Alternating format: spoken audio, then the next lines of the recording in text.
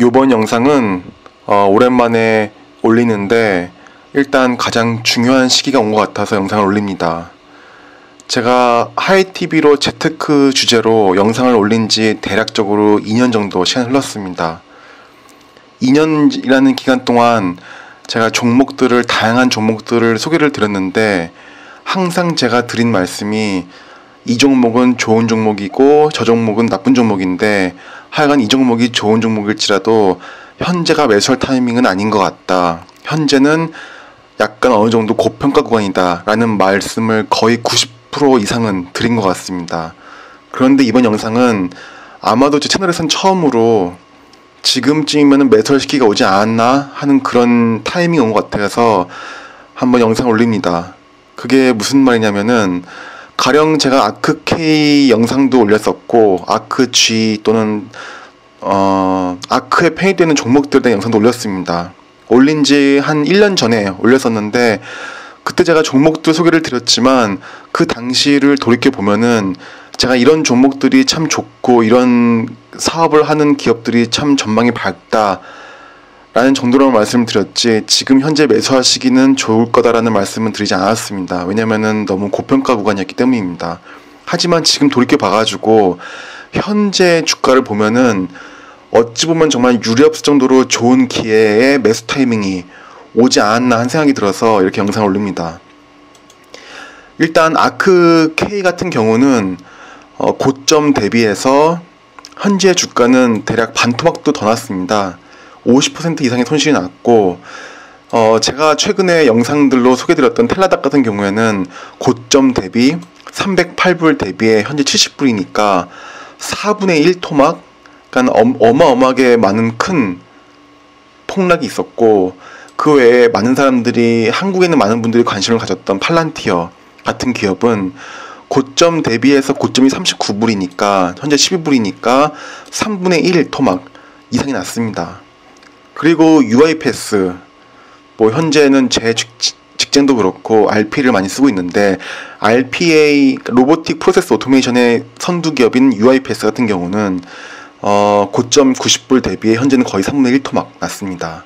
이런 식으로 어, 굉장히 많은 기업들이 현재 큰 폭락을 했습니다. 또 다른 기업을 보면은 유니티도 있습니다. 유니티를 제가 이것도 한번 띄워보면은 어, 유니티는 저희가 종목 도명이 U로 시작합니다. 자, 유니티 같은 경우는 현재 주가가 고점이 210불, 현재는 94.92불, 그러니까 반토막 이상 났습니다. 그러니까 제가 지금 보여드린 종목들이 텔라닥, 그리고 팔란티어, UiPath, 그리고 유니티, 뭐 이런 종목들이 많습니다. 이런 종목들이 특히 어, ARK Investment가 보유를 했던 종목들인데 이런 종목들을 보면은 어, 대부분 반토막 또는 3분의 1 토막 심하게는 4분의 1 토막 났습니다. 어, 제가 이 종목들을 보면은 이게 단순히 밈 주식이 아니라 제가 좋게 보는 종목들이기 때문에 말씀을 드리는 건데 왜 제가 이런 종목들 좋게 보는지 설명을 드리겠습니다. 일단 텔라닥, 팔란티어, UiPath, 유니티 같은 종목들의 특징은 일단은 매출이 증가를 하고 이건 뭐 제가 너무 많이 드리는 얘기 때문에 좀 뻔한 얘기긴 한데 매출이 증가를 하고 또한 매출이익이 높습니다. 매출이익은 gross margin입니다. 이거는 매출액에서 매출 원가 즉 revenue에서 cost of goods sold 또는 cost of COGS 또는 CGS라고 하는데 매출액에서 매출 원가를 뺀 게 매출 이익입니다. 매출 총 이익이 gross margin인데 그로스 마진으로 뭘 볼 수 있냐면은 현재 이 기업이 하고 있는 사업이 사업성이 있냐 없냐를 봅니다. 그러니까 수익성이 있냐 없냐를 보는 것보다 일단은 사업 포트폴리오 자체가 이게 사업성이 있는지 없는지를 보는 것이 매출 이익입니다. 한마디로 매출에서 원가를 빼기 때문에 원가 대비해서 매출이 나면은 이게 수익이 있냐 없냐를 보는데 일단 네 개 기업 모두 매출 이익은 경이적입니다. 그게 무슨 말이냐면은 가령 팔란티어를 보면은 이건 뭐 어떻게 보면 소프트웨어 기업이라 좀 당연할 수도 있는데 팔란테 같은 경우는 매출 이익이 음 보시면은 77.48%입니다.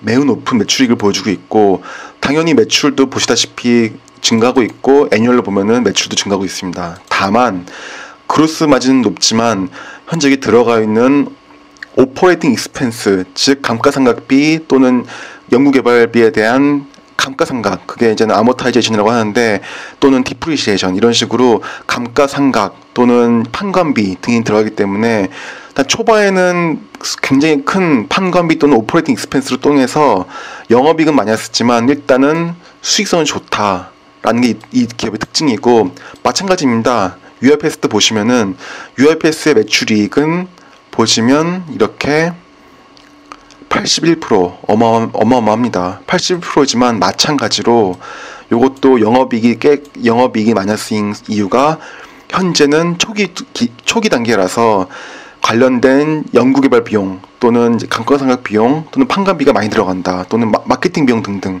이런저런 모든 비용이 들어가기 때문에 현재는 굉장히 큰 영업 비용으로 영업 순 손실이지만 매출이익은 어마어마하다. 이 뜻은 뭐냐면 수익성은 굉장히 좋은 모델이다라는 것입니다. 비즈니스의 모델이 굉장히 좋은 것입니다. 유니티도 보면은 유니티는 제가 특히 더 좋게 보는 기업이긴 한데 이것도 보겠습니다. 보시면 이렇게 음, 그로스 마진이 77%입니다. 이것도 어마어마합니다. 하지만 이 역시 operating margin은 영업 순손실 그 이유는 똑같은 이유입니다.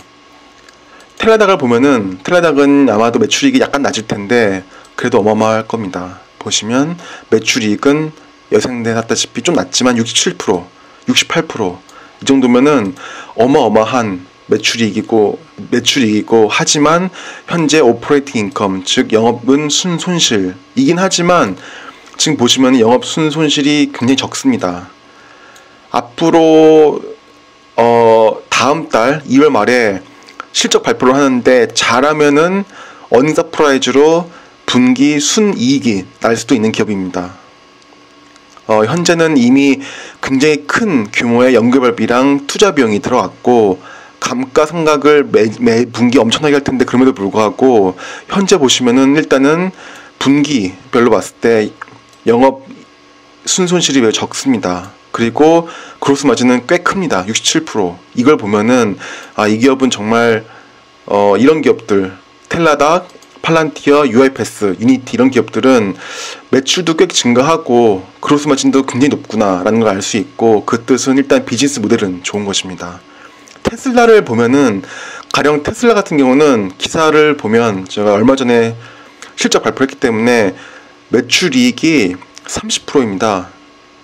30%라는 것이 뭐 별거 아니라고 그러니까는 뭐 텔라닥이나 팔란티어, UI패스에 비해서는 별거 아니라고 보실 수도 있지만 자동차 제조업체가 물론 테슬라가 자동차 제조업체는 아니지만 테슬라의 어, 매출이익률이 30%다라는 것은 정말 어마어마한 겁니다. 예를 들어서 현대, 현대입니다. 현대 같은 경우를 보면은 어, 그로스 마진이 18%입니다.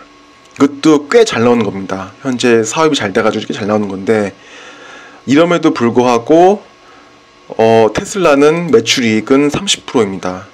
그 뜻은 테슬라는 어느 정도 규모의 경제를 이루고 굉장히 큰 비즈니스 사업성이 있는 것입니다. 그, 그로 인해서 현재 굉장히 큰 높은 PER도 받고 있는 거기도 할 테고 뭐 어쨌거나 그렇습니다. 제가 말씀드리는 게 뭐냐면 텔라닥이나 팔란티어나 UiPath나 유니티 등등 다 그런 건 아니지만 캐시우드의 아크 ETF가 종목들을 보는 눈은 확실히 있는 것 같습니다. 뭐 저보다는 훨씬 높은 레벨이기 때문에 당연한 거겠지만 보면은 어 미래의 가능성이 있는 좋은 기업들을 잘 발굴해서 그런 기업들의 특징은 매출은 크게 증가를 하고 앞으로의 산업에서 굉장히 큰 활약을 할 것으로 보이고 그리고 매출이 높다 한마디로 비즈니스의 모델이 굉장히 좋고 비즈니스가 앞으로 더큰 발전을 할 가능성이 매우 높다. 그런 기업들에 투자를 한다는 게 아크 ETF인데 그런 종목들만 잘 모아둔 아크K의 ETF가 현재 수익이 반토막 이상 났다는 것은 아마도 지금쯤 들어가는 것이 정말 좋지 않을까 하는 생각을 합니다. 뭐 1년 전쯤이 아마도 가장 광기, 그러니까 아크에 대해서 모든 사람들이 신봉을 하고 엄청나게 많은 사람들이 마크에 미쳐가지고 투자를 할 때가 있었지만 그때에 비해서 지금처럼 모두가 요구를 하고 그런 시기가 가장 최고의 매수 시기가 아닌가 생각을 합니다.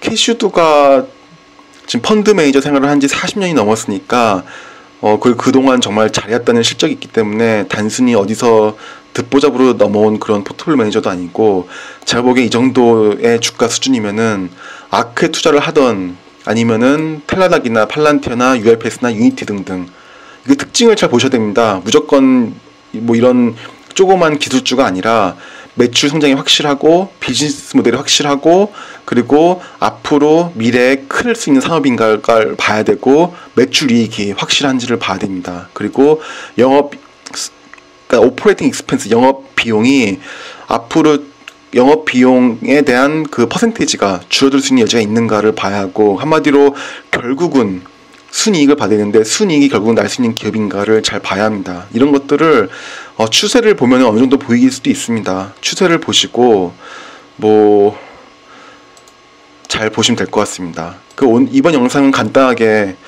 어, 정말 현재는 기술주의 조정이 심하기 때문에 많은 기업들을 매수할 수 있는 타이밍이 하지만 그 중에서도 아크가 투자하는 이런 종목들이 매수하기 정말 최적의 타이밍이 아닌가 하는 생각이 들어가지고 한번 영상을 올려봅니다. 그럼 영상 시청해주셔서 감사드립니다.